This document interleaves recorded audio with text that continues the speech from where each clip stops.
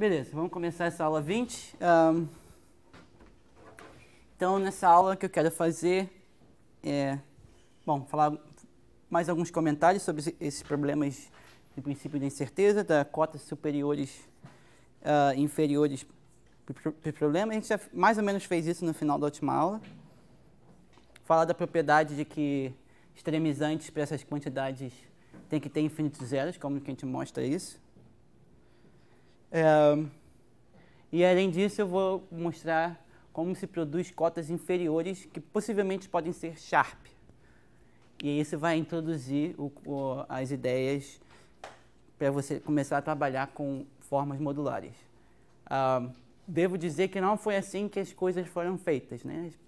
Era, basicamente era uma nuvem assim, as pessoas não tinham muita ideia do que fazer e agora a gente já tem mais certeza do que quais são as coisas que você precisa fazer para resolver esses problemas.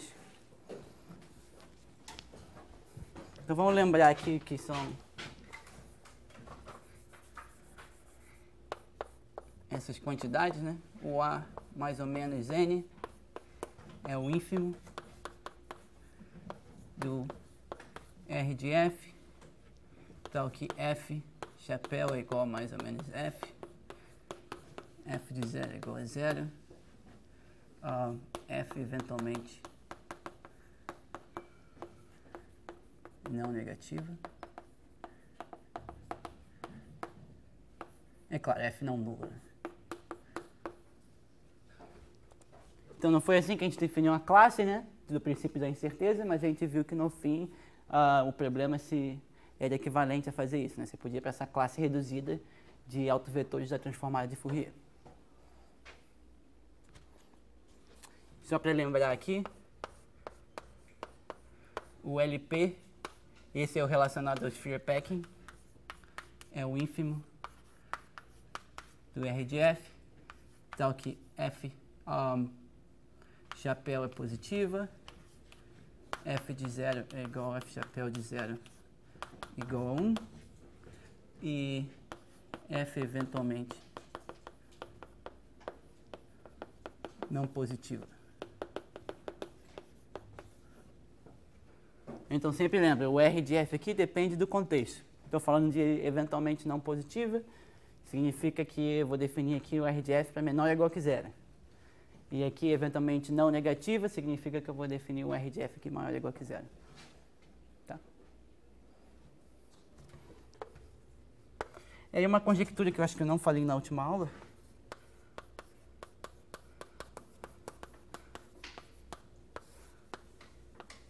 Conjecturas.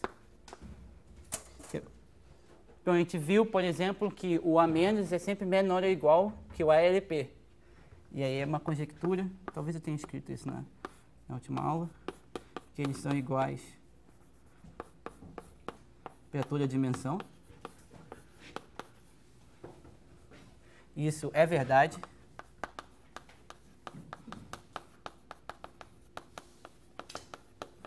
Para n igual a 1, 8 e 24.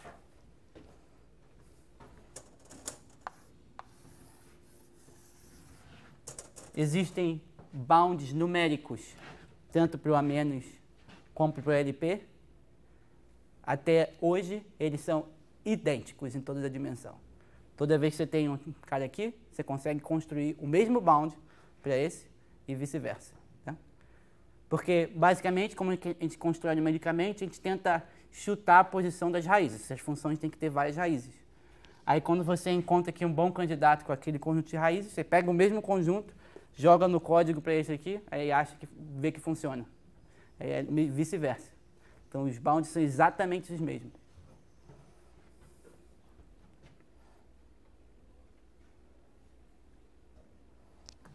Ah, ele também é conjecturado, segunda, então essa seria a primeira conjectura. A segunda é que o A mais ou menos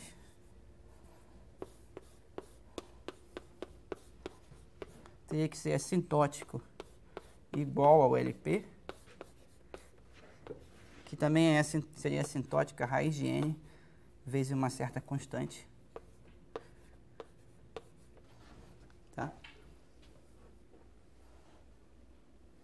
E essa constante a gente sabe, o que a gente sabe até agora só é que uh, 1 sobre raiz de 2π é, é menor ou igual que c, menor ou igual que 1 sobre raiz de 2π.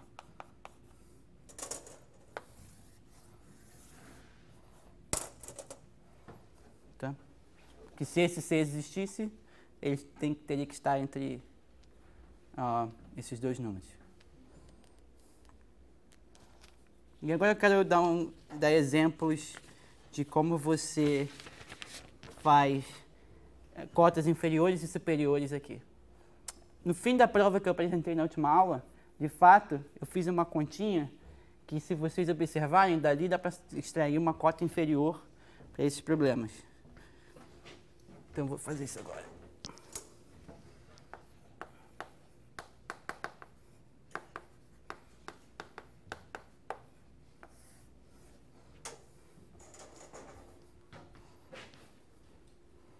Então, suponha que você pega uma função f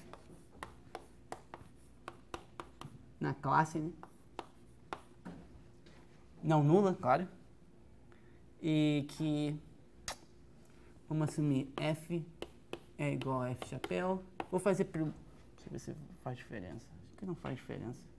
Vou mais ou menos então. Tá, não nula. Aí você define f mais vai ser o máximo de f e zero e f menos o mínimo de f e zero. Desculpa, menos f e zero. Então eu estou pegando a parte positiva e a parte negativa da função. Se a função é uma coisa assim, f mais vai ser isso e F menos vai ser a parte branca, menos a parte branca, então vai ser menos essa parte branca. Então, em particular, eu posso, vamos, e vamos assumir o seguinte, vamos assumir, eu posso sempre normalizar a função, né?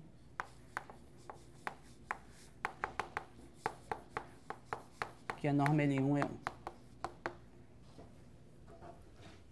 Então, 1 é a integral de f mais mais a integral de f menos. Tá? Integral no Rn. Por quê? Porque 1 é massa e a massa é a integral da parte positiva mais a integral da parte negativa. Né? Se você sempre tem isso, né? então f é sempre igual a f mais menos f menos.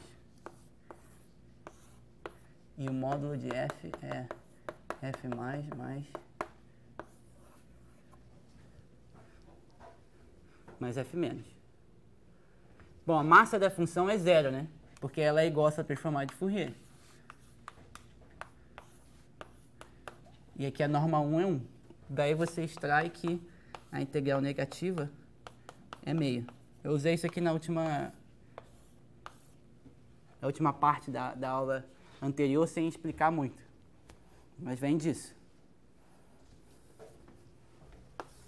Porém, a massa negativa da função, a função é eventualmente positiva. Então, a massa negativa só pode estar na bola onde, antes da função virar positiva. Então, em meio é igual a integral da massa negativa, mas isso vai ser igual a integral nessa bola, na bola de raio R de F.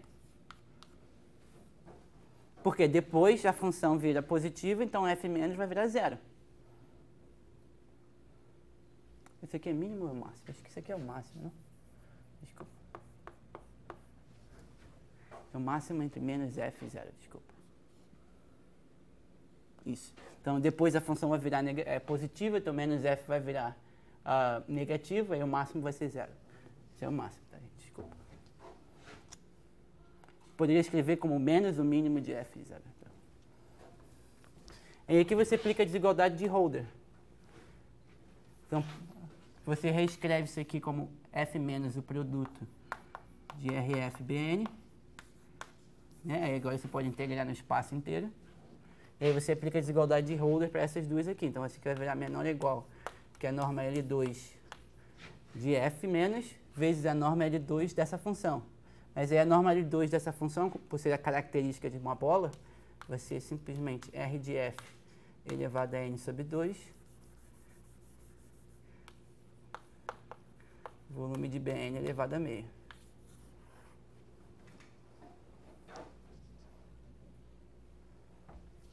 a gente observa, bom, mas aí a norma L2 é o quê? Eu mato a norma L2 pela norma L2 da própria função f. Então, talvez eu aumentei aqui ela.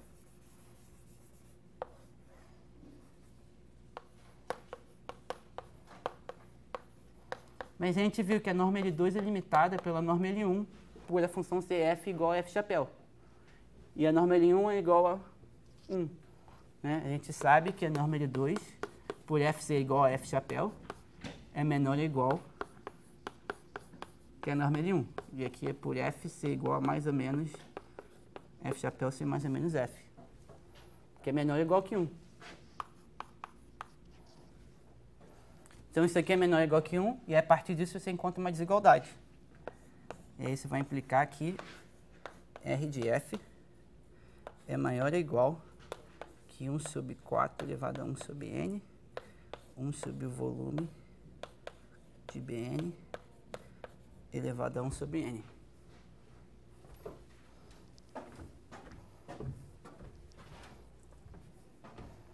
Né? Acabamos de encontrar um, um lower bound. Isso aqui é assintótico, a raiz. E como você decide, acha-se assintótico? Bom, escreve a fórmula da, do, do, volume da bola explicitamente e usa o assintótico de Stirling, que vai, que vai aparecer um n sobre 2 fatorial, π elevado a n sobre 2. Então você tem que ver como n fatorial, raiz enésima de n menos 2 fatorial cresce. Mas aí você consegue ver, fazer a continha e aparece esse cara. Tá? Ele é assintótico a isso, quando n vai para infinito. Mas se você for e fizer uma conta assim mais certinha, você vai conseguir ver que ele é de fato estritamente maior que isso. Sempre. Apesar de convergir para isso, ser assintótico a isso. Então você mostrou que, em particular,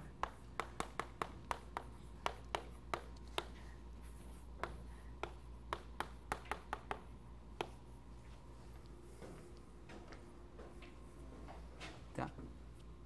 Uma cota inferior. Agora vamos fazer uma cota superior.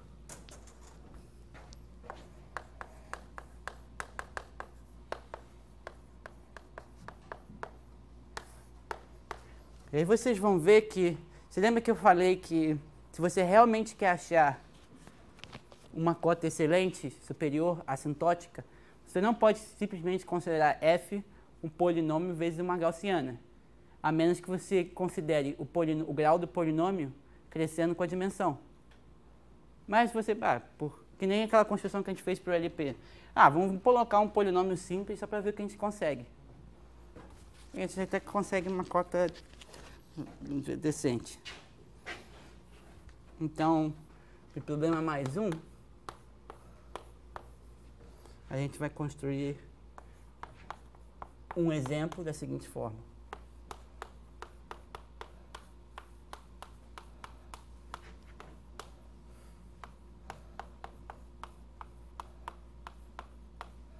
Então vamos lembrar aqui que o φ L no eu tô, vou dropar esse aqui, deixar de lado essa, esse no aqui, tá? É o polinômio de Laguerre L aplicar em 2π módulo x ao quadrado. Nu é sempre n sobre 2 menos 1. Tá? Então esses são os autovetores da transformada de Fourier. Se L é par, então é o mais um autovetor. Se L é ímpar, é o menos um autovetor. Então isso aqui já é f igual a f chapéu, de graça. Na origem já é zero. É, agora a gente só precisa pegar a expressão desse polinômio aqui. Uh, então isso aqui vai ser basicamente um polinômio vezes uma gaussiana. E uh, uma coisa legal de lembrar sempre é que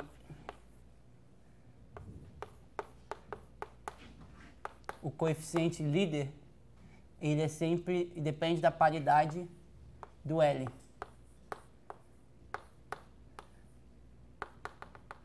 Então, se L é par, o coeficiente líder é, é, é positivo. Se L é ímpar, o coeficiente líder é negativo. Aí o que você está colocando aqui é uma função vezes uma gaussiana, cujo coeficiente líder do polinômio vezes a gaussiana é positivo, porque é o φ2. Né?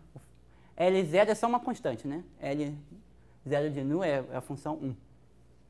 E L, L2 de nu é um polinômio quadrático de coeficiente líder positivo. Então isso aqui é eventualmente positivo. Só falta você achar qual é a última raiz. Aí você faz uma continha, você vai ficar um polinômio de ordem 2 aqui multiplicando uma gaussiana. Então fácil de calcular. E a raiz é exatamente nu mais 2 sobre π. E esse aqui é a raiz de n mais 2 sobre π. Isso aqui é exatamente a função que você acha no paper do Bourgain do Bourgain, do Coase e do Carrani. Eles fazem exatamente essa conta, só que eles fazem para polinômios de Hermite, mas polinômios de Hermite são os polinômios de Laguerre, uh, mais ou menos, e ele encontra exatamente esse número. No particular você mostrou que A mais de N é menor ou igual. Aí, uh, desculpa, isso aqui é 2π.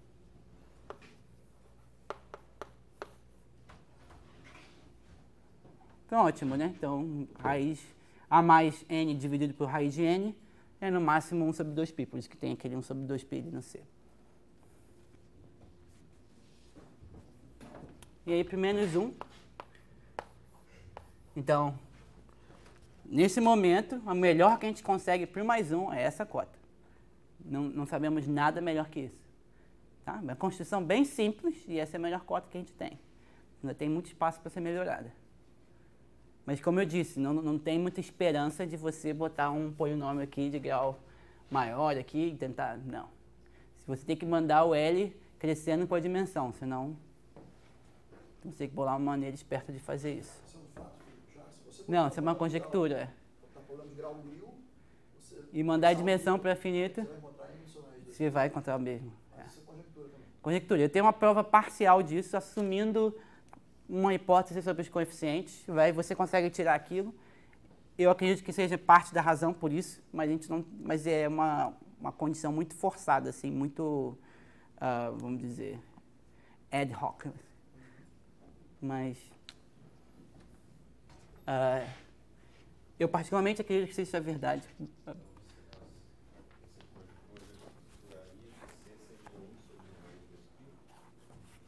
Se, ah, então, se você escolhe seu número favorito, sei lá, é, 196.650, é, esse é meu número. Esse vai ser o grau do meu polinômio. Fixei, agora eu vou mandar a dimensão para infinito. Você nunca vai conseguir encontrar uma cota melhor que esse número. A menos que você mande o grau do polinômio para infinito junto com a dimensão. Entendeu? Você não pode fixar o grau e mandar só a dimensão para o infinito. Os dois têm que crescer para o infinito. Não, a conjectura é que o C é menor que isso, né? Eu vou falar agora. Uh, mas aí, como você consegue fazer uma coisa para menos uma coisa equivalente, assim, relacionada?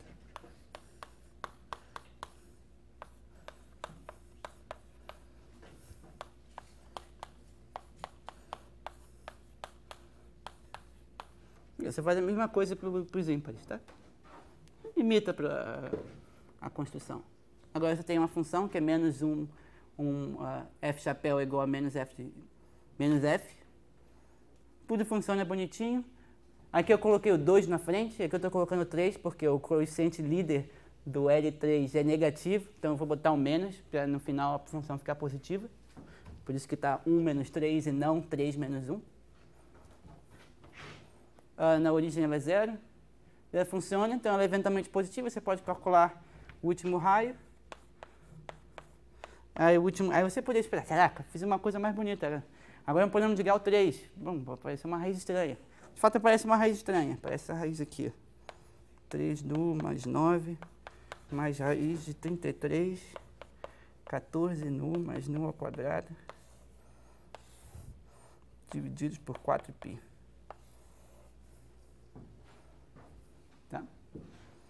Mas, infelizmente, isso aqui Se você trocar nu por n sobre 2, menos 1, isso é assintótico.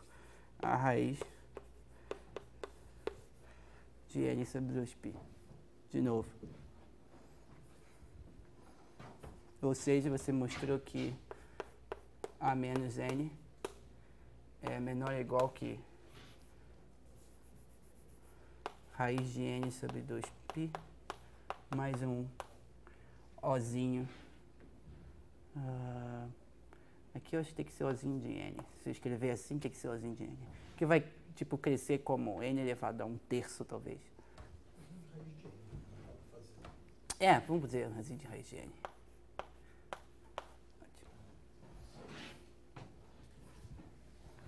Então, de novo, você consegue obter o mesmo 2π. Se você quiser, você pode até fazer isso aqui menor que isso aqui, mais uma constante grande. Tá?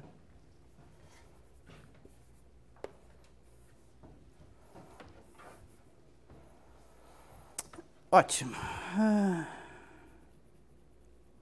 E aí, por que, que, eu, por que, que eu não acho que seja 2π? Porque, se lembra que eu comentei, o bound, esse, número aqui, é aproximadamente 0.39.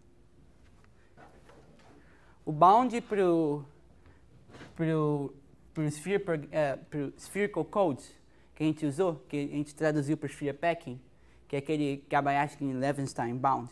Se você uh, ah, um, existe uma maneira de qualquer função que você cria para produzir um bound usando o, o lema de Delsart, que foi o que a gente fez para os spherical codes, para qualquer função ali, você magicamente, através de um truque, cria uma função para esse, espaço aqui.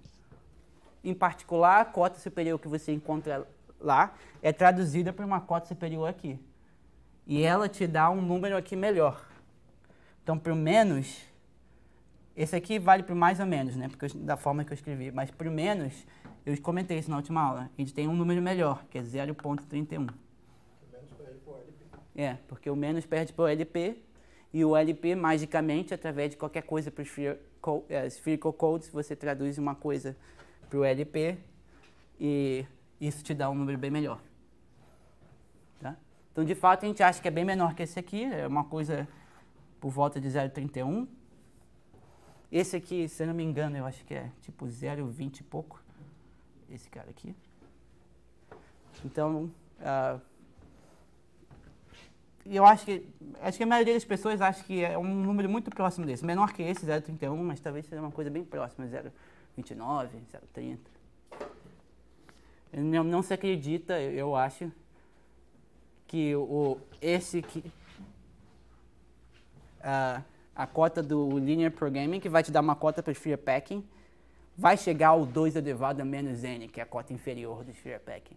Eu não se acredita isso de fato, tem gente que acredita que o 2 elevado a menos n é que está errado. A cota inferior, que devia ser uma coisa melhor. Mas é muito difícil você construir explicitamente packings em várias dimensões que melhorem aquilo assintoticamente. Se vocês repararem, né, 2 elevado a menos n é a mesma cota inferior que a gente faz pelo algoritmo guloso, né? Porque se você faz um packing saturado, você duplica o raio de cada esfera, então isso vai ter que cobrir o espaço e por isso que é maior que 2 é menos n. Então é uma prova meio implícita. Até hoje essa é a melhor cota.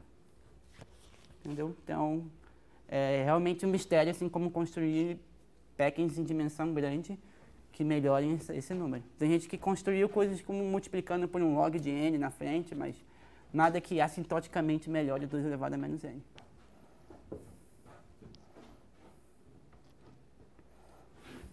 Outra pergunta?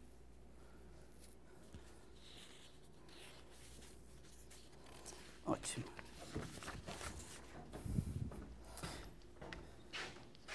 Então agora eu quero provar o seguinte.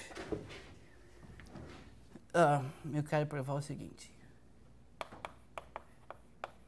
Prova de que ah, toda f de a mais ou menos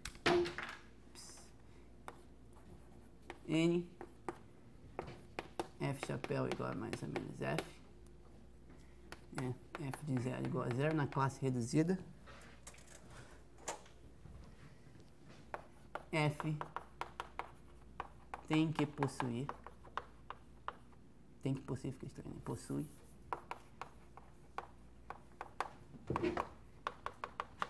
infinitos zeros.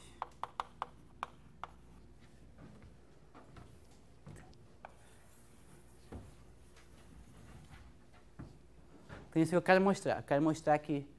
Ah, ah não. Pá, tá ótimo. Tem que assumir uma coisa, né? R de F igual ao. Uma função extremal, né? Se a função é extremal, ela tem que ter infinitos zeros. Tá? Então tem que ser uma função que é, vai ser eventualmente positiva, mas depois ela vai ter que tocar infinitas vezes o eixo. E aí começa com um lema que eu vou colocar como um problema para vocês. Um, não, não, o lema eu vou mostrar, vou botar como problema depois outra coisa. Então, lema, esse a gente vai mostrar. Para todo epsilon positivo, existe uma função psi no espaço, psi chapéu igual a mais ou menos psi, psi de zero igual a zero.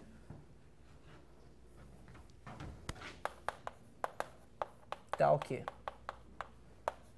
1. Um. Psi de x é positiva. C epsilon menor que módulo de x. Então não seja melhor falar epsilon pertencente a 0,1. Um,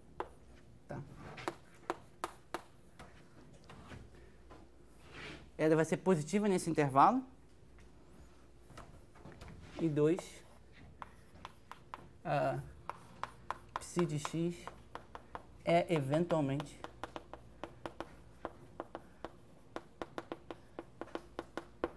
positiva, ela não é nem não, nega, não negativa, ela é positiva mesmo. Maior que zero. Então, depois de um certo ponto, ela é positiva. Então, a função psi tem essa cara.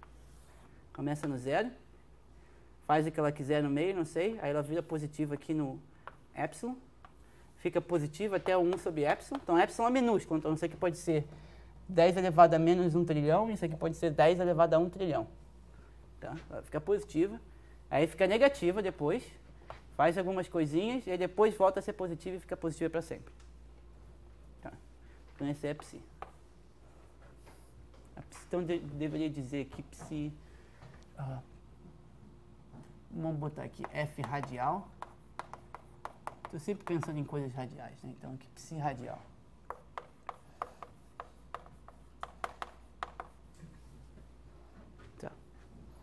Então, por que, que essa função é, é boa? Por que construir uma função desse tipo é boa? Porque ela te ajuda a consertar coisas locais. Se eu adiciono essa função para outra função, eu vou sempre adicionar uma coisa positiva no intervalo aqui que eu sei para escrever. Entre epsilon e 1 sobre epsilon. Um problema. Mostre que C F chapéu igual a mais ou menos F. F de zero igual a zero. F radial, né? F na classe. E f de x é estritamente maior que zero.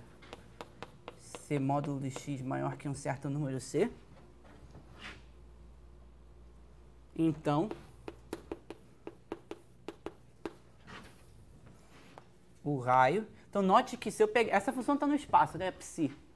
Ela está no espaço. Ela faz um trabalho horrível, né? Porque tá, ela pode ficar negativa aqui, né? Então, o último raio dela vai ser lá no maior que 10 elevado a 1 trilhão. Mas,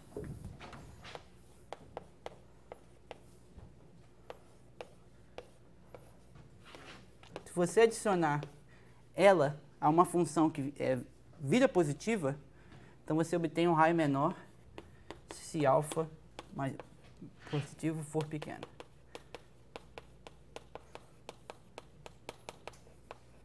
Esse é o problema. Então, suponha que o lema é verdade, concluímos a prova. Entendeu? Vou mostrar o lema. A conclusão da prova é problema para vocês. Por que, que se eu tiver uma função assim, então, se eu tivesse um extremizante, então, suponha que f fosse um extremizante e que fosse positivo depois de um certo c. Então, eu adiciono um múltiplo da, da psi, do lema, e eu vou obter um raio menor.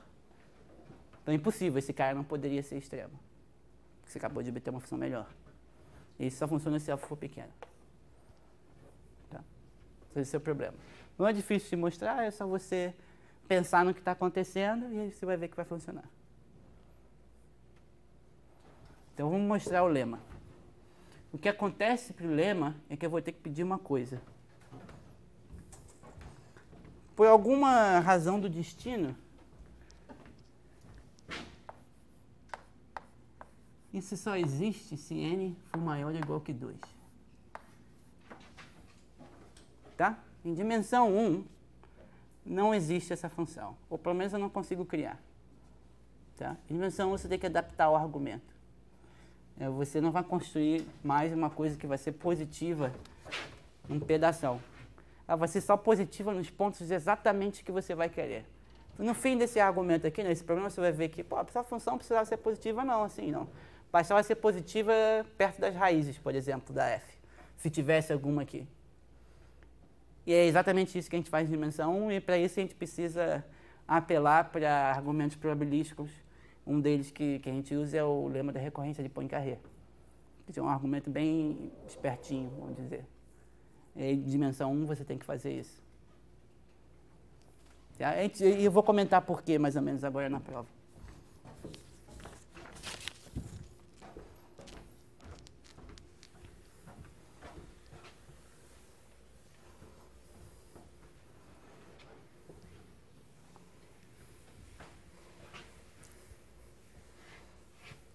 A gente vai ter que dividir em casos. Uh, o caso mais um,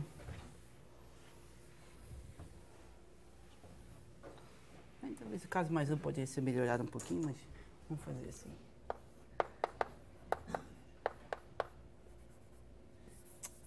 Deixa eu o caso mais um. Como que a gente mostra o caso mais um? Qual é a função? Então eu quero mostrar o lema, tá? Porque se o lema é verdade, o problema ali te diz que uh, aí você acaba o, o, o, o resultado.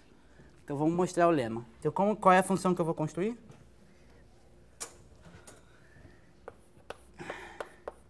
Obviamente, né? Escrevi psi, né? Então já, já tem uma dica, né? Vai ser uma combinação de polinômios de Laguerre.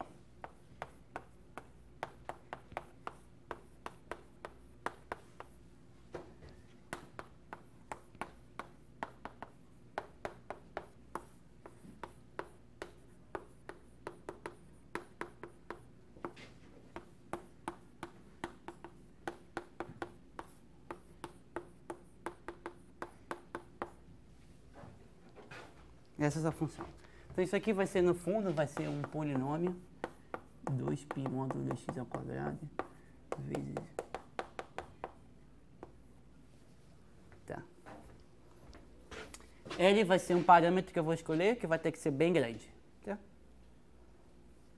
Então por que, que isso dá certo? Então esses são os polinômios de Laguerre, que a gente já revisou. Ah, esse cara vai ser um autovetor de alto valor 1, porque só estou usando os caras pares. Então, se você perceber o seguinte, uh, uh, se eu multiplicar, então, psi por esse valor, uh, no zero vai ser zero por construção, né? se você botar zero aqui vai se perdoar. Esse vai ser o polinômio. E se você escrever o polinômio, ele vai começar com o coeficiente 1. Tá? Mais Uh, e no final vai ficar uma coisa de grau módulo de x ao quadrado elevado a 2L mais 4 com uma constante positiva. Tá? É o que Um, deixa eu ver se é óbvio que ele começa com coeficiente 1. Não, não é óbvio que ele começa com coeficiente 1. Vamos escrever aqui, sei lá, CL e aqui C0, tá? C vai ser positivo, CL. Tá. tá. Vai ser dessa forma. Então, qual é a propriedade que falta a gente mostrar? Ela já é... Você satisfaz tudo aqui, né? Está na classe vai ser eventualmente positiva. Por que ela vai ser eventualmente positiva? Porque o coeficiente de maior grau vai vir do 2L mais 4.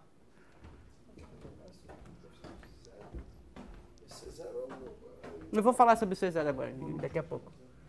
É, o, C0 é o valor disso aqui no zero, que é... E é zero, né? Isso, isso, isso, isso C0.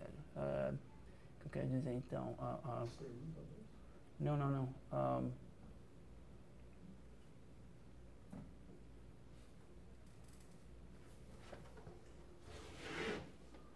que eu quero dizer. É, mas vocês eram isso. Mas eu não quero dizer isso. O que eu quero dizer. Uh, hum. Começa com zero mesmo. Vamos deixar o zero aqui. Quero dizer o quê? Uhum, uhum. É, vai ser zero, desculpa, desculpa. Estou pensando em uma coisa diferente. Vai ser zero, ótimo. Isso não, não vai ser problema. Exatamente, a gente quer que ele seja zero. Na origem tem que ser zero, né? Tá. Tá pensando em outra coisa. Um, então, satisfaz todas as propriedades, sem é só checar. Ele é eventualmente positivo, é isso que eu queria comentar, porque o coeficiente de maior, maior grau só vem do 2L mais 4, lá na fórmula, e quando é par, né, sempre coeficiente líder positivo. Então, ela vai ser eventualmente positiva. Ótimo. Né? Só falta checar isso aqui.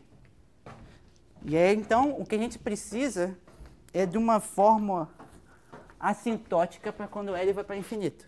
Essa é chamada de Feia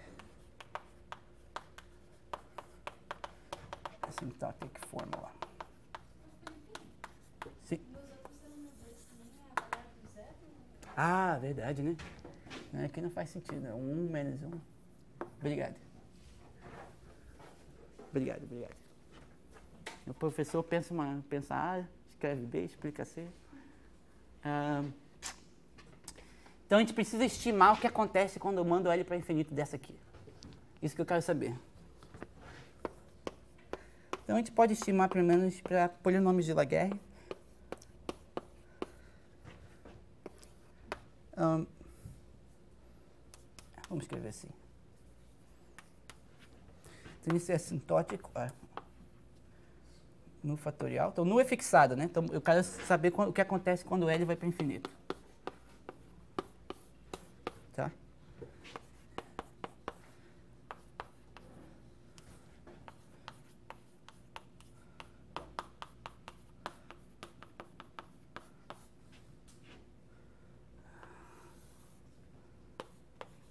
E essa aqui que é a parte importante.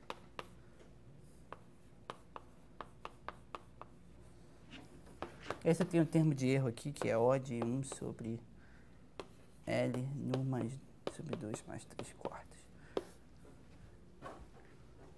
Então seria melhor escrever igual. Tá? Isso vale, essa fórmula assintótica vale sempre que T está fixado. Então, se, vamos dizer, A menor é igual que T menor é igual que 1B tá? e o A é maior que zero. Então, intervalos compactos uh, contidos na semi-reta, essa fórmula vale e, e, a constante que apareceria aqui no O é uniforme, só vai depender do A e do B. Tá? Isso diz o seguinte, que essa função aqui, então, imagina, a exponencial aqui não está fazendo efeito nenhum, ela só está aqui, ela é positiva sempre, né? É maior que zero e ilimitada, em coisas assim. Está dizendo que essa função aqui converge para zero uniformemente em compactos da reta positiva. Por quê? Porque no mais 2 mais um quarto em dimensão maior ou igual que 2 é maior que zero. Então, dimensão 2 Então, quem é nu? Nu é, é n menos 2, então n sobre 4 menos 1 meio, mais um quarto. Isso aqui é n menos 1 sobre 4. Então, se n é maior ou igual que 2, o expoente aqui do L, estou mandando L para infinito, é positivo. Cosseno limitado por 1. O resto não depende do L. Então, isso aqui vai para zero e isso vai para zero. E aí você vê exatamente que no caso em dimensão 1, esse termo aqui some. E o polinômio é puramente oscilatório. Entendeu? E esse é o problema. Então, em dimensão 1, você tem que dizer que essas oscilações, para alguma subsequência de L, vai ser sempre positivo nos pontos que você quer. E isso aí remete a um fluxo notório de, de, de dimensão alta. Aí você pensa em teorema de recorrência de Poincaré. Tá? Não vou explicar muito sobre isso, mas esse, em dimensão 1 falha por isso, né? Você não tem esse expoente mais, e aí você tem uma coisa puramente oscilatória, e aí você, a ideia é você pegar uma subsequência de L's, tal que a função seja positiva nos intervalos que você quer sempre. E aí isso remete a um fluxo notório, e aí você pensa em teoremas probabilísticos, e um deles é que você usa a recorrência de Poincaré. Tá. Ótimo. Mas se a dimensão maior que 2, isso vai para zero. Excelente. Isso implica que cada um desses termos aqui está indo para zero uniformemente em compactos para, sei lá, para x entre duas esferas, vamos dizer. Esse, esse e esse, mas esse está fixado. E esse aqui é 1. Esse cara aqui é e elevado a menos π módulo x ao quadrado. Beleza? Então, quando eu multiplico por esse cara aqui, vai ficar 1 mais termos que vão para zero.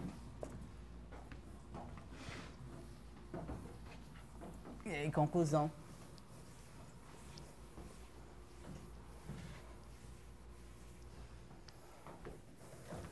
Conclusão. Se L é grande, se L é muito grande, psi de x vai ser maior que zero. Vai ser maior que, vamos dizer, 1 menos qualquer coisinha pequena, né? Então vamos dizer maior que 1 meio. Para. Uh, não. Isso. Para. Uh, uh, 1 sobre epsilon. Epsilon. É dado, né? Que a gente sabe que cada uma dessas partes aqui tende para zero e esse aqui está convergindo para gaussiana. Então, se eu multiplicar, vai convergir para 1. Então, se for grande, vai ser pelo menos maior que meio. Então, imagina sempre multiplicando a função. Essa é a expressão em polinômios, né? Mas se você olhar para cada um, esse aqui começa por 1. Esse aqui seria 1. Aí aqui seria menos o polinômio de Laguerre 2L dividido por, pelo L no zero, e o 2L mais 4 dividido por L no zero. Cada uma desses termos está indo para zero e você fica com 1. Então, pelo menos vai ser maior que meio, por exemplo. E aí você prova o lema por mais um. Alguma pergunta? Agora vamos para menos um.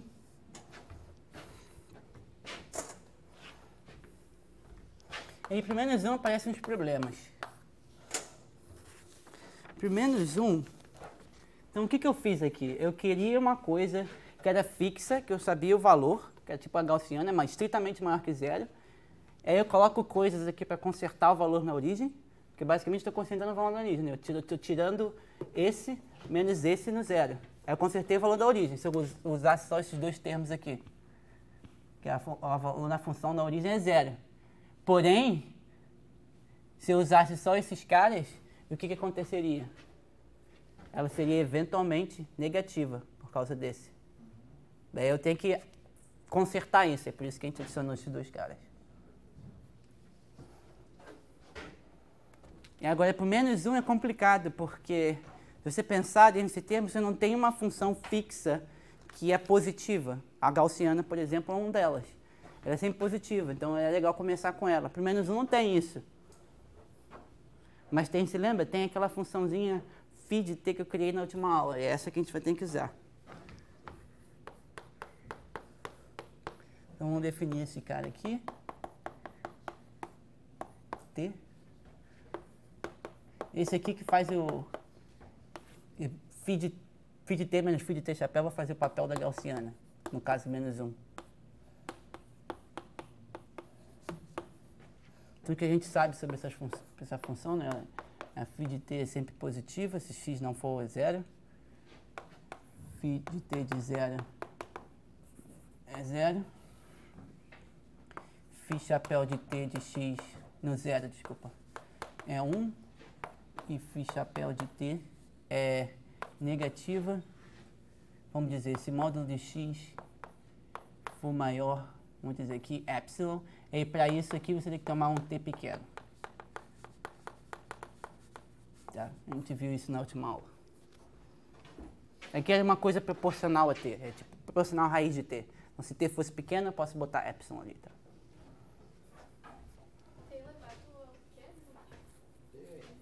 Ah, D. A volta do D. N dimensão. Ótimo. Aí você define, aí a sua psi vai ser essa aqui. Sua psi vai ser φ de t.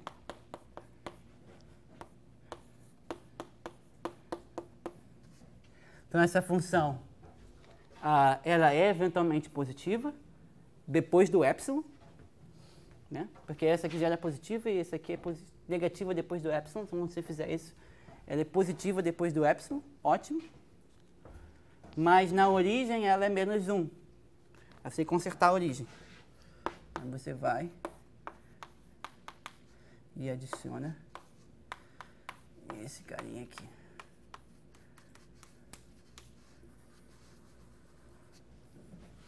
Então, agora na origem ela é zero. Se L for muito grande, por esse teorema aqui, esse aqui não vai afetar o valor dessa função depois do epsilon. Então, se L for muito grande, isso aqui vai ser positivo, por exemplo, para x de epsilon até 1 sobre epsilon, por exemplo. Só tem que mostrar que ela é eventualmente positiva.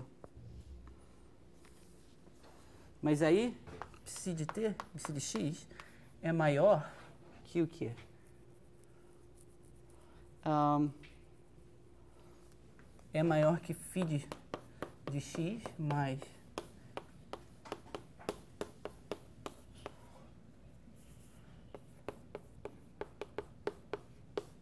se módulo de x for maior que epsilon, porque essa aqui já é positiva, esse termo é positivo, então você jogou uma coisa fora. x maior que epsilon, isso aqui é positivo, né? Então não fiz nada. E agora isso aqui é uma tem uma gaussiana aqui, né? Na definição.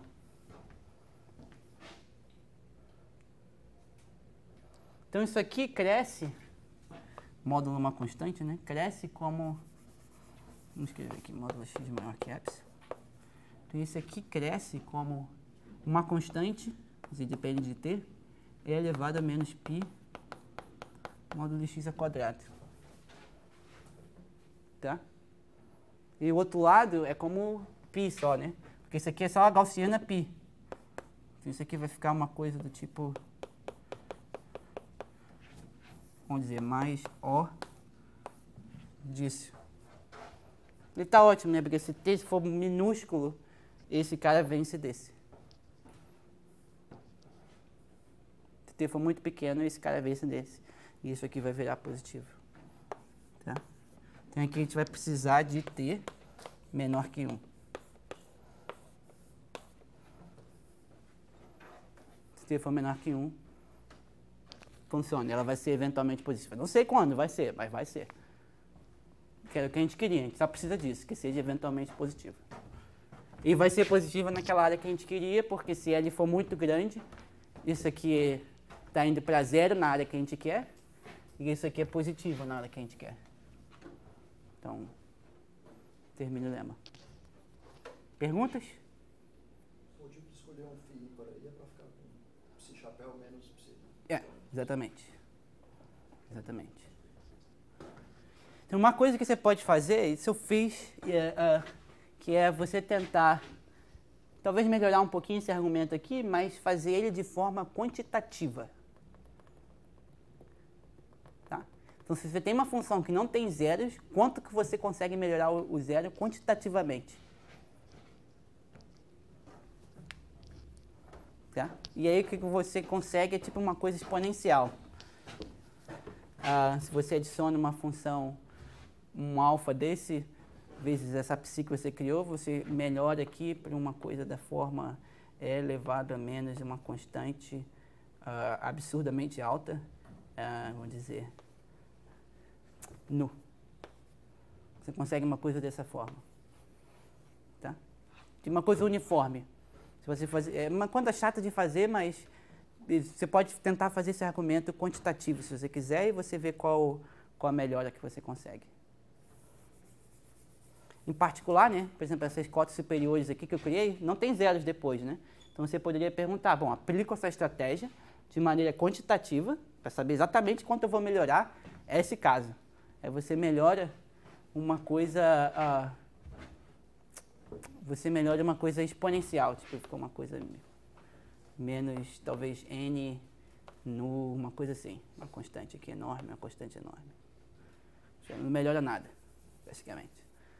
Então, essa estratégia aqui, se você quiser fazer esse quantitativo, é horrível, tá? Por exemplo, eu estou pensando em todas as formas possíveis de melhorar as coisas. Aí, você quer uma delas, tentei, mas não funciona. Hum, ótimo. Ótimo. Perguntas? Não. Agora a gente vai entrar numa parte muito legal. Agora é a parte legal.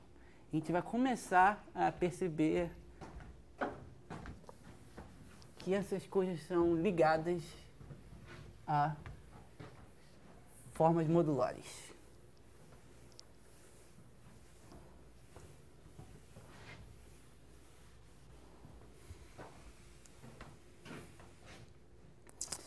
Então, vou fazer uma seguinte definição. Essa definição você não vai encontrar em lugar nenhum. Foi o que inventei, acabei de inventar para essas notas. Tá?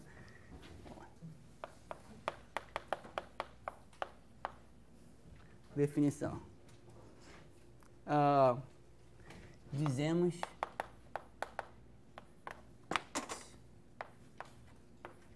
que um par de sequências, eu vou escrever assim, tá? Vai ser um par de sequências começando do zero até infinito. Não, do 1 um até infinito. Então vamos dizer que. Uh, uh, tá. Dizemos que o par de sequências.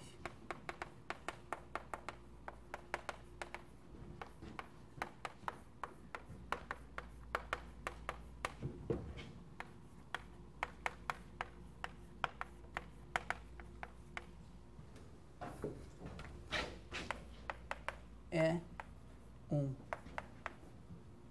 mais um.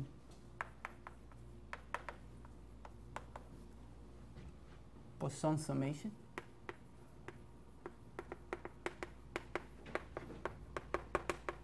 Então, mais um Poisson summation pair. Se vale.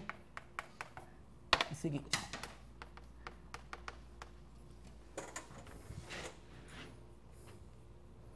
Uh, um, todos os, os termos são positivos, né?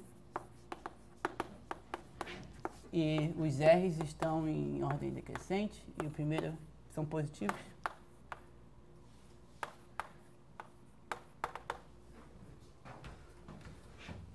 2. Um, limite de RJ mais 1 sobre RJ, quando J vai para infinito, é 1. Tá? Então você pode pensar, bom, RJ pode ser tipo igual a J, RJ pode ser tipo J elevado a alguma potência. ele pode ser uma coisa muito louca que o próximo é estupidamente maior que o anterior. Isso não pode ser. E 3, para toda f na classe Schwartz, f chapéu igual a f, temos, e essa é a propriedade mais importante,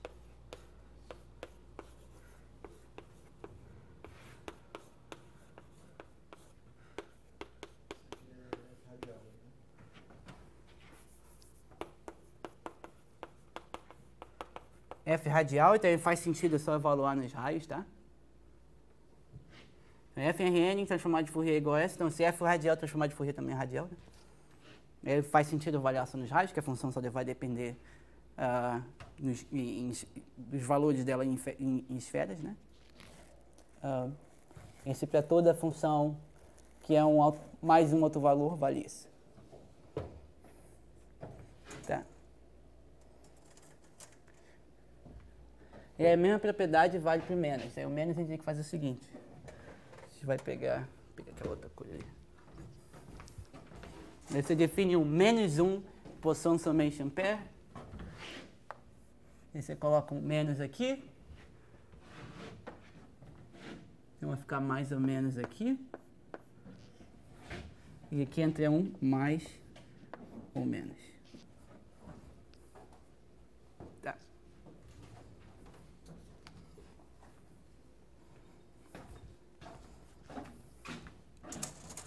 Tá, peça em dimensão 1. Dimensão 1, você tem a posição summation nos inteiros. Beleza? Ótimo. Se a função é par, dimensão radial significa par. E ela ser autodual, é, talvez a posição summation não faça muito sentido para mais, mas para menos talvez faça. Então, para menos, por exemplo, você teria alguma coisa assim, para qualquer função, né? Isso vale. Essa função foi igual a menos a transformada de Fourier, entre o menos aqui. Se a função for par, você vai aparecer aqui um f de zero, n maior ou igual que 1 duas vezes, e esse aqui vai aparecer n maior ou igual que 1, então menos duas vezes agora, mais a menos f de zero. Ótimo. É a mesma coisa dos dois lados, né? Só que com sinal trocado. Você joga para lá e você obtém que f de zero é igual, então, menos 2, soma de n maior ou igual que 1, de f de n. Esse aqui é um menos 1 posição summation pair, em dimensão 1. Tá? Negativo, todos os coeficientes, que é 1, né? São todos positivos.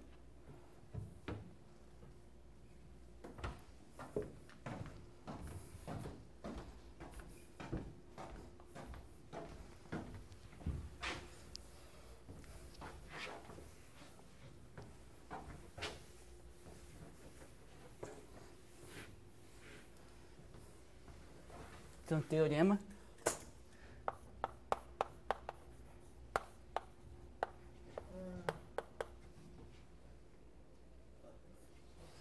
Se C R é um.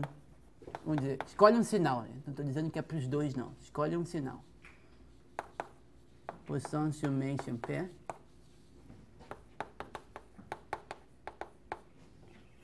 Então, a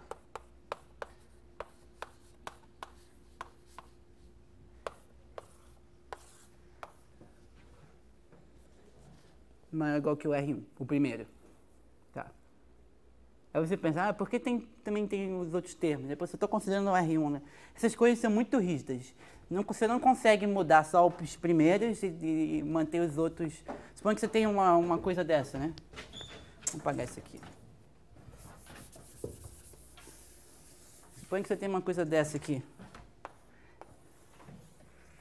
Aí você pode pensar, será que eu consigo uma outra fórmula dessa, onde eu mantenho, uh, sei lá, os mesmos raios, talvez eu mude as constantes, mas eu mantenho os mesmos raios até um, um milhão e o resto, uh, tipo, troco desculpa, troco os mesmos raios até um milhão, R um milhão, mas depois de um milhão eu mantenho os mesmos. Será que eu consigo mudar localmente isso aqui? E a resposta é que, em geral, não.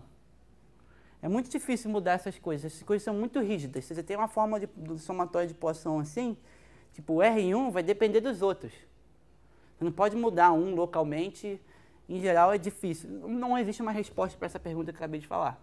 Mas é uma filosofia. Tipo, em geral, você não consegue mudar essas coisas aqui localmente. Tipo, elas são muito rígidas. Então, quando eu digo ali maior ou igual que R1, é porque o R1 está associado ao par, né? Se você muda um cara do par, talvez o R1 mude drasticamente. Talvez nem exista é uma fórmula desse tipo. Nesse sentido mais geral aqui, não tenho muita ideia do que, do que pode acontecer. Mas, em geral, essas coisas são bem rígidas. Ah, então, esse é o teorema que eu vou provar agora. E a conjectura é o seguinte.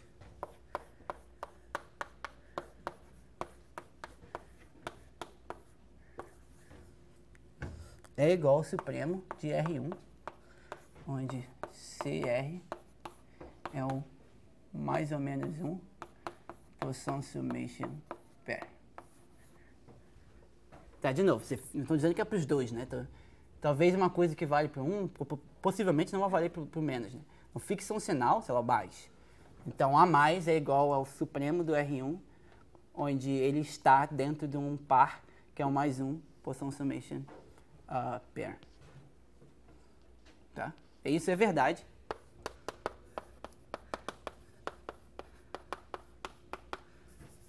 Por mais um. Esse foi o meu resultado junto com, com Henry Cohn, em dimensão 12. E por menos um, em dimensão 1, 8 e 24.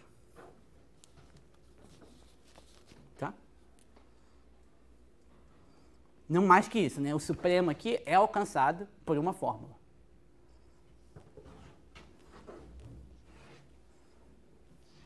Então vamos provar esse teorema aí.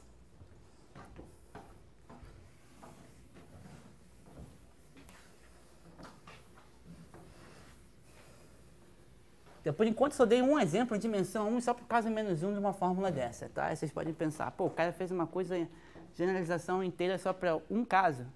Não, eu já vou mostrar vários casos, por exemplo, essas dimensões e, de fato, a ideia é que sempre quando você tem uma forma modular, você consegue gerar uma, uma somatória de posição desse. E que deveria, qualquer fórmula somatória de posição dessa, deveria vir, esse deveria bem entre aspas, de uma outra, uma forma modular.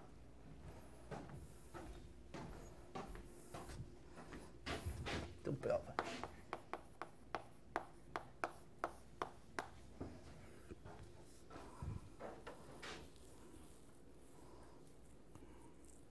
Vamos considerar o caso mais um. Tá? E vocês vão ver que a prova vai se estender facilmente para o caso menos um. Esse é um dos casos, nem, nem, sempre é assim, mas esse aqui é um dos casos que se você botar o mais ou menos no lugar certo, vale para tanto mais para menos. Então os mais o problema mais ou menos são problemas irmãos.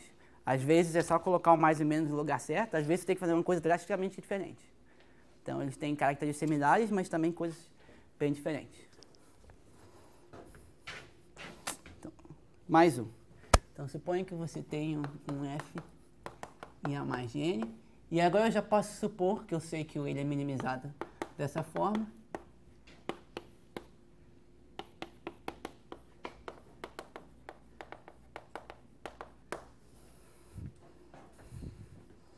Radial. E eu vou pedir que R de F seja o ótimo logo, porque a gente sabe que existe. Talvez eu não queira pedir esse. É, pedir qualquer RDF. Não precisa ser esse não. Então, vamos aplicar a fórmula. Se a função fosse da classe Schwartz, porque eu estou pedindo classe Schwartz, né? Se isso valesse, então eu podia aplicar a fórmula.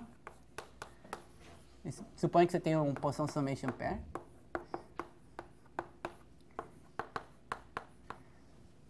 Tá? Aplicasse a fórmula. Então, zero seria isso. Um, e aí você pergunta, qual é o sinal da função? Bom, se f está na classe de Schwartz e o raio da função é menor ou igual que o primeiro, é, vamos supor o princípio que é menor ou igual. Então, bom, a função é positiva já depois deles, né? Então, esse cara aqui, que eu estou colocando aqui, vai ser maior ou igual que qualquer um que eu escolha. Vou escolher um J0 aqui em particular. Porque todos os outros termos, os seis são positivos por hipótese e a função já é positiva depois do primeiro. Então tudo é positivo. Então você joga isso tudo fora. Né? Mas isso aqui também é positivo, né? 10 0 é maior ou igual que alguma coisa que é maior ou igual que zero implica que a coisa no meio é zero. E aí o CJ não é zero, né? CJ é zero. Então, a gente concluiu que isso aqui é zero para todos os J.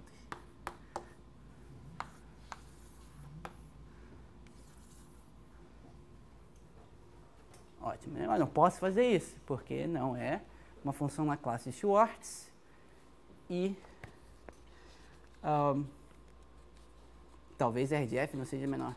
Igual, esse aqui não é então um problema, né? Porque eu vou assumir por contradição que isso vale e quero chegar num absurdo. Que esse aqui é estritamente menor, né? Então a gente não pode aplicar, não podemos fazer isso, né? Essa é a ideia.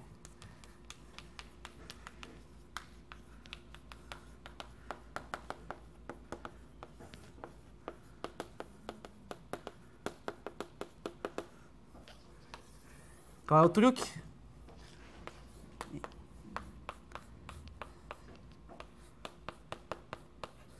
Essa phi aqui não é a mesma que a gente usou antes não, tá? Só uma função que eu vou dizer quem é. Você vai fazer a convolução da f com uma phi de epsilon e multiplicar para transformar de Fourier da mesma função. Onde a phi de epsilon vai ser uma função com as seguintes propriedades. Ela é tem todas as derivadas e tem suporte compacto. O suporte da φ está dentro da bola unitária. Ela é positiva. Sua transformada de Fourier é positiva. E a sua massa é 1. Φ epsilon de x, então definida como sobre epsilon elevado a n. Φ de x sobre epsilon. Tá, essa é uma chamada aproximação da identidade. Eu estou tomando uma em especial, né? Que ela não só, ela tem suporte compacto aqui, suportado aqui, e que um, isso existe, tá? Então, problema, mostre que tal φ existe. Tá? É direto que uma função com essas propriedades vai existir, né? Uma série de truques você consegue criar uma função dessa. Você começa com uma função em geral, da, que é a aproximação da identidade, e aí vai modificando ela para fazer isso dar certo. Tá. E aí, a gente sabe é o seguinte, como f é igual a f chapéu, ela é uma função uh, contínua que decai no infinito. Em particular, né, uh, f de epsilon vai voltar para f uniformemente em Rn.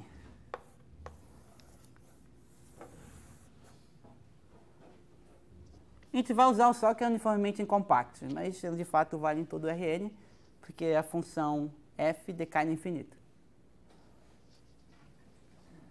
Né? Note que, basicamente, essa é a aproximação da identidade. Eu estou multiplicando por um fator. Esse fator aqui, se φ é uma aproximação da identidade, isso aqui converge uniformemente para 1.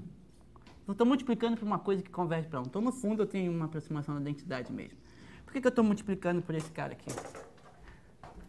Por que, que eu não faço uma aproximação da identidade do jeito usual? Porque se você convolui uma função com uma função sem infinito, ela só vira sem infinito. Ela não vira da classe Schwartz. Tá? Aí eu multiplico por uma função phi-chapéu. A phi-chapéu está na classe de Schwartz. Mais ainda, você consegue mostrar o seguinte, que a norma infinito da derivada de uma convolução, você, se você derivar essa função aqui, a derivada vai para cá, e você consegue mostrar que a norma infinita da, dessa função, uh, da derivada dessa função, vai ser limitada.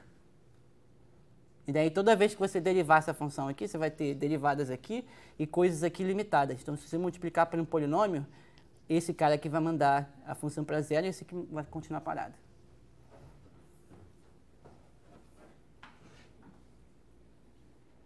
Tá? Então essa é a ideia. Então agora a gente tem uma função epsilon que está na classe de Schwartz.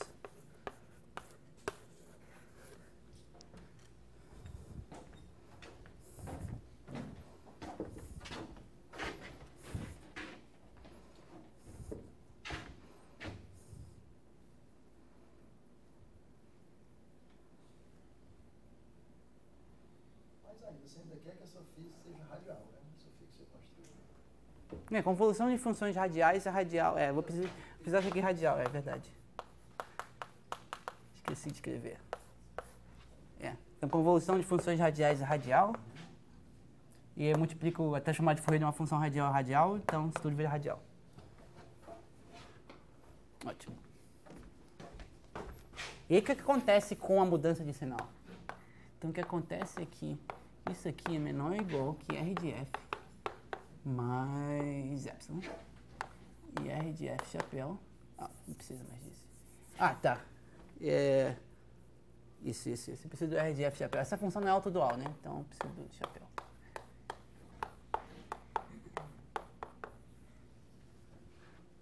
Tá? Por que, que isso é verdade? Por que, que eu não estou mudando muito a última mudança de sinal?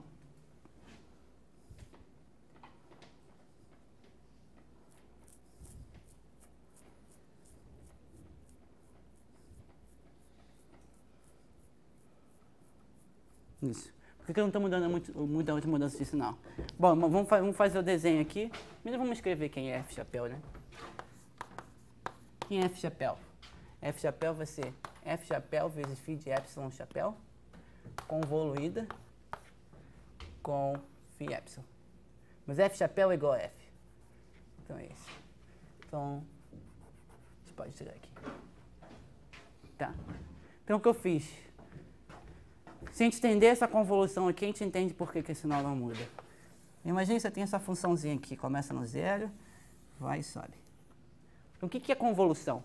Eu pego a minha função psi, que tem suporte limitado na bola, e divido por epsilon. Então, o suporte da psi está dentro da bola de raio epsilon.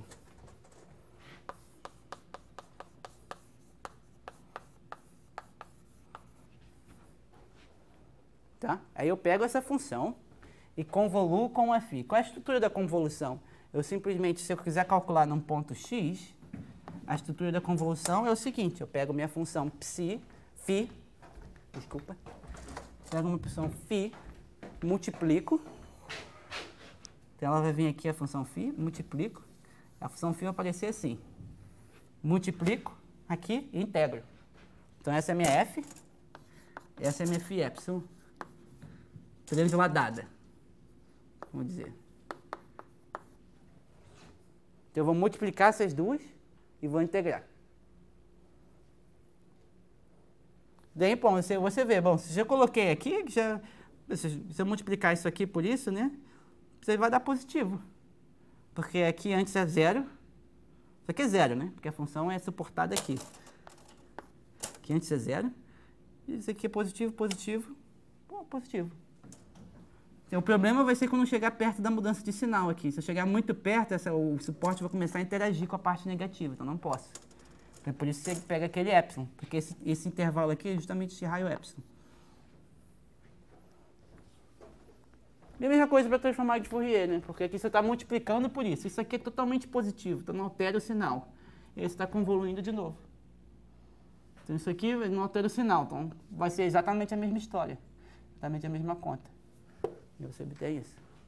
E agora a gente aplica a fórmula para G igual a F epsilon mais F epsilon chapéu. Tá? Então vamos assumir que agora é estritamente eu quero chegar num absurdo. Ah, não, não, não. Vamos assumir que é menor ou igual ainda, tá? O absurdo ainda vai chegar daqui a, daqui a pouco. Agora vamos aplicar a fórmula para G posso aplicar agora para G, né?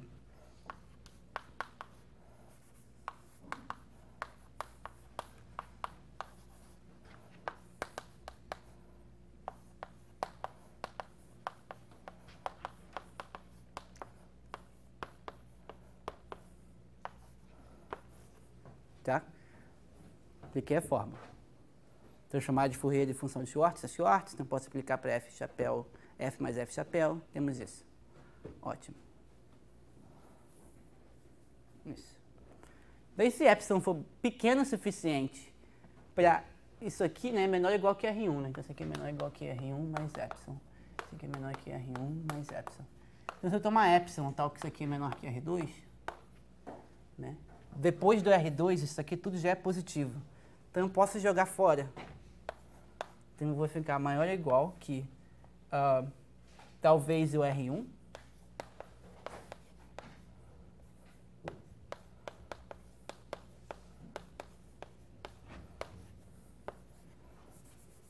Mas eu escolho um J, sei lá, J0.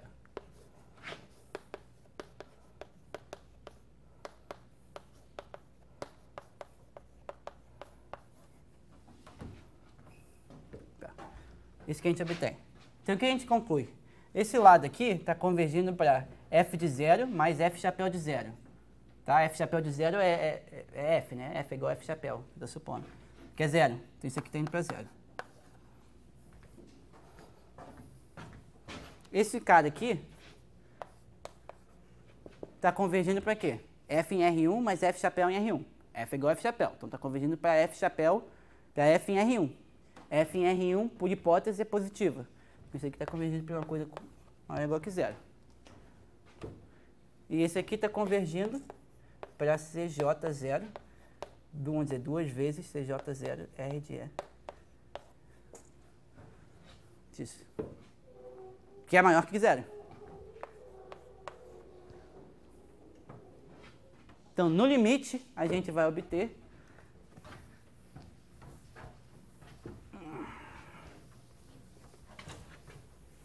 no limite, eu mandando epsilon para zero,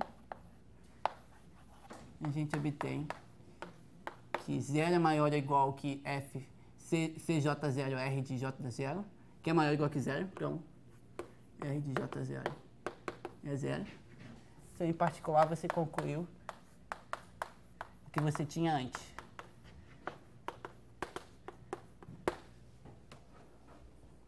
Então, era isso que eu queria concluir. Se a função fosse da classe Schwartz, se o raio fosse menor ou igual, implicaria que ela é zero nesses pontos. Mas se ela não for, você faz um truque e força isso a acontecer de qualquer jeito. Então, qualquer função no espaço cuja mudança de sinal é menor ou igual que R1, tem que se anular em todos os outros pontos, inclusive R1. Tá. Então, ter uma forma do somatório de poção te dá uma coisa incrível não só se R de F for menor ou igual que R1, ela vai ter que se anular em todos os outros pontos.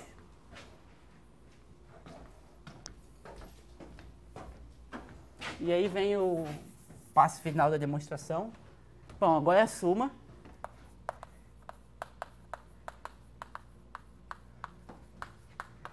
R de F estritamente menor que R de 1. O que, que acontece? Se eu mudasse essa função só um pouquinho, isso continuaria verdade. Então isso implica que, sei lá, qualquer mudança pouquinha da função teria que satisfazer isso. E qual é essa mudança pouquinha que a gente vai fazer? Então o truque é fazer o seguinte, eu vou definir essa nova função, vamos chamar g, que vai ser a integral de lambda, mas lambda vai ser. Deixa eu pegar minhas notas.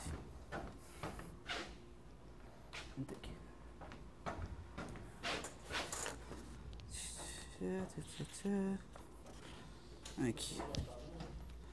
É, vou dilatar, mas eu quero dilatar de um jeito que fique claro a conclusão.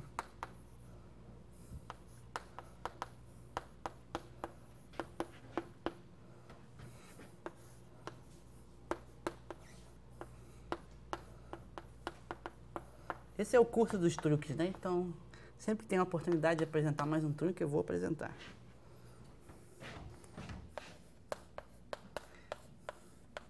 A gente sabe que R de F é estritamente menor que 1.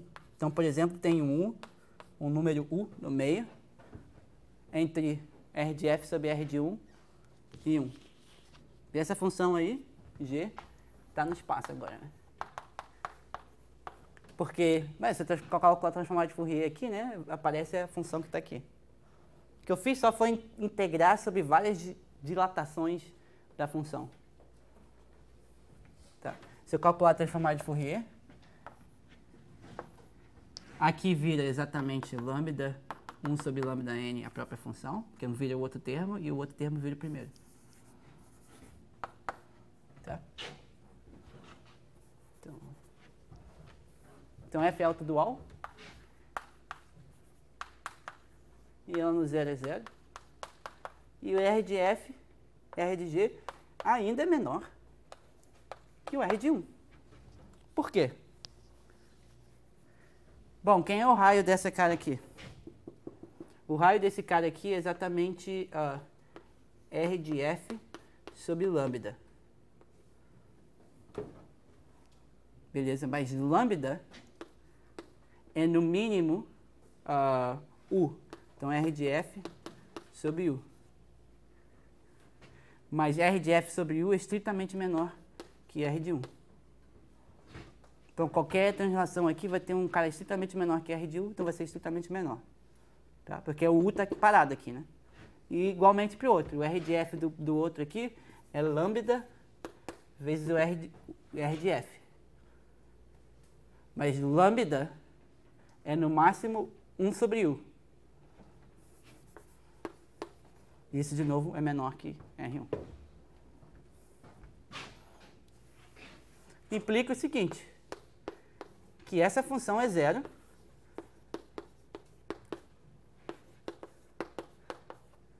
maior que 1.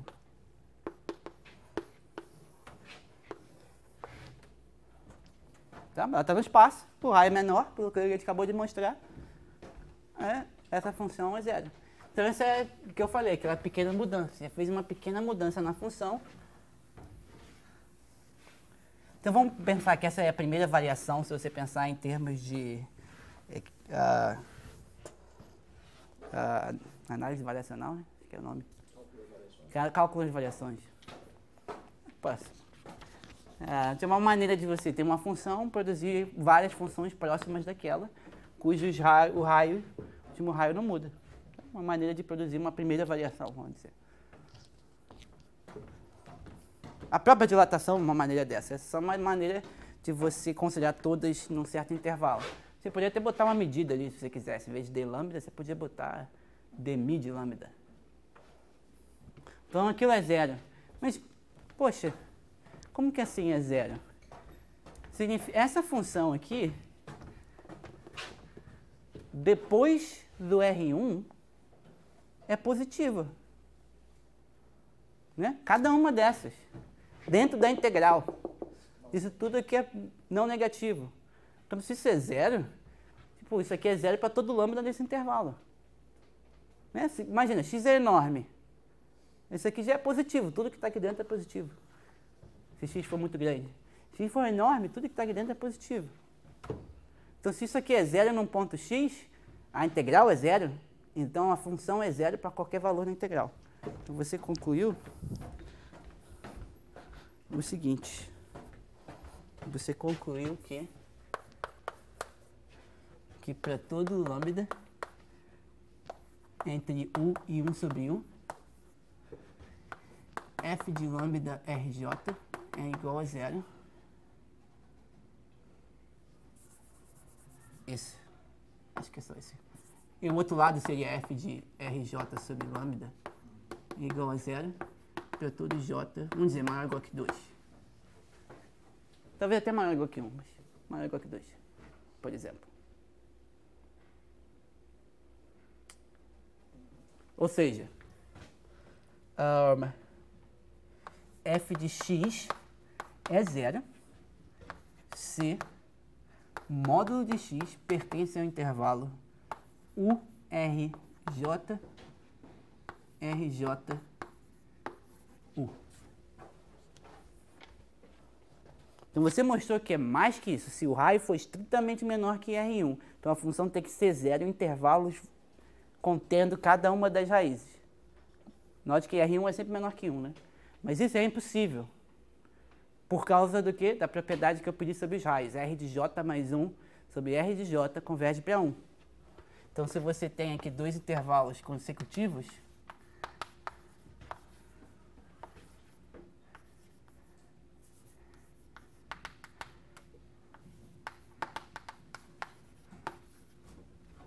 eu afirmo que se J for muito grande, eles se intersectam.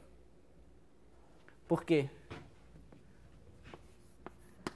J mais 1, U, é menor, eu afirmo que esse cara aqui, o primeiro ponto do intervalo, é, é menor que o segundo ponto do anterior.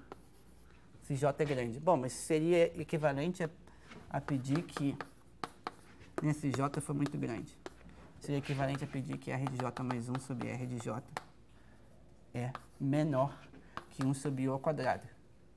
Mas isso aqui é maior que 1, né? Isso aqui está convergindo para 1.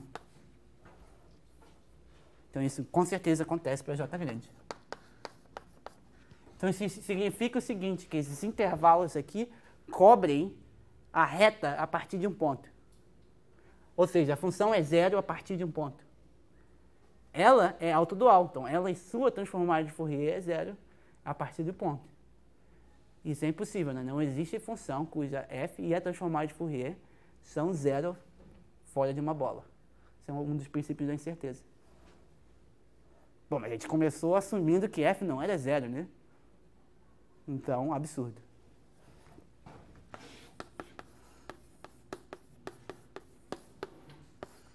Isso não acontece. Ou seja, aí a gente termina o teorema. R de f não pode ser menor que R1, tem que ser maior ou igual.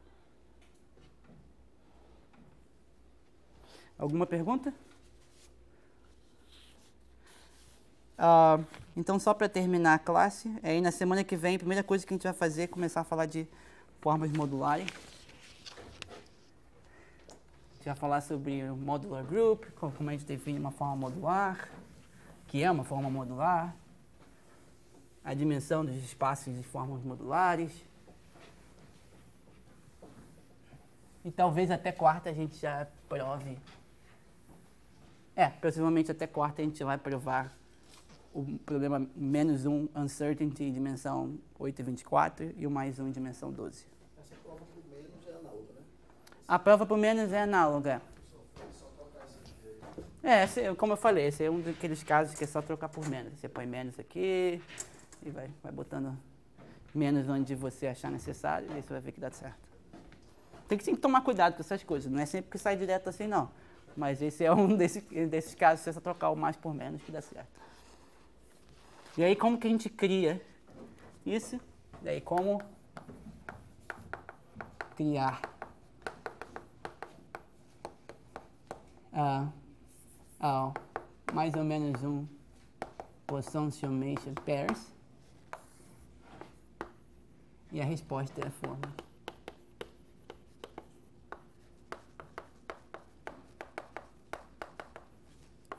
Tá? Essa é a resposta moderna. A resposta mais antiga seria a Larices. Você vai para um reticulado, você tem a fórmula somatória de Poisson. Então a resposta antiga seria por que não? A gente vai ver isso também na aula seguinte. Por que não?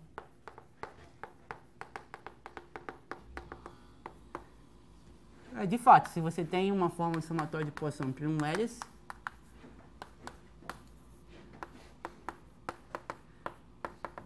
Esse aqui tem um dual, né?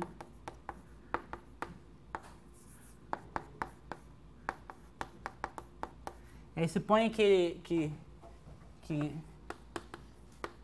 que ele é autodual e o determinante é 1, por exemplo. Então, isso aqui seria simplesmente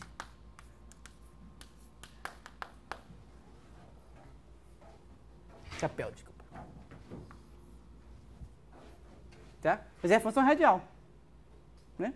Então, vamos, vamos chamar aqui uh, módulo de lambda igual às distâncias do, do, do né? Então, módulo de lambda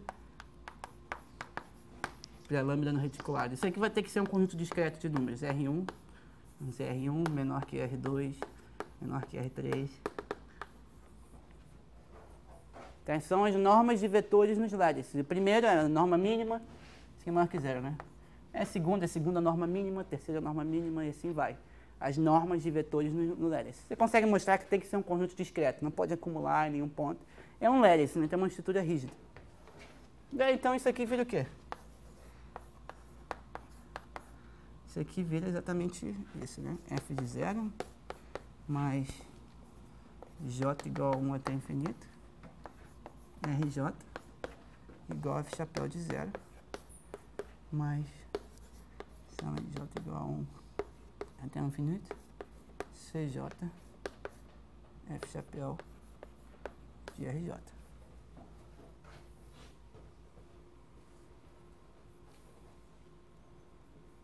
Por exemplo, aí se você.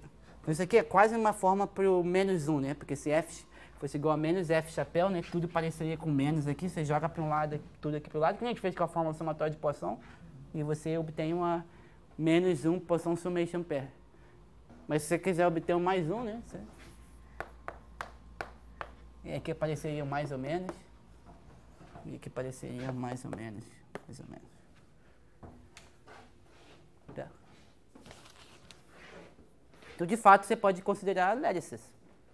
Seriam as fórmulas que você queria. E é por isso que esses problemas são conectados, pelo menos o menos um, com coisas geométricas, né? Porque o menos um vai ser um, um autodual de, de determinante 1. Um, e daí, pô, vem um lattice, né? Então está conectado com o problema. Está um, conectado com o problema geométrico. O mais um é, ainda não, não se sabe se está conectado, mas o menos um fica claro, né? Que eles, esses caras podem estar, e de fato o menos um está, porque ele vem do Linear Programming Functions, que está ligado ao Sphere Packing. Então você vê que as, as coisas estão começando a se encaixar.